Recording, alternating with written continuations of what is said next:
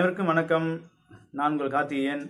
இந்த வகுப்பில் நம்ம அரபு எண்ணெய் தமிழ் எண்ணெய் எப்படி மாற்றலாம்ன்றதை பற்றி பார்க்க போகிறோம் சரிங்களா?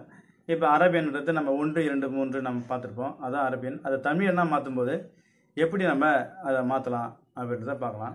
இப்போ ஒன்று முதல் பத்து வரைக்கும் நம்ம நம்ம அந்த கா ஊ ஞ சூரு சா ஏ ஆ கு கா அப்படின்னு நம்ம தெரிஞ்சு வச்சிருக்கணும். மறுபடியும் சொல்கிறேன் க உ ஞ சு ரு சா ஏ ஆ கு க.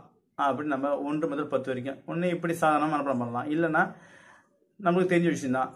என்ன சொல்லலாம் கடலை உருண்டை நனைத்து சுவைத்து ருசித்து சாப்பிட்டேன் என அவன் கூறினான் ஓ என்றான். அப்படி சொல்லலாம்.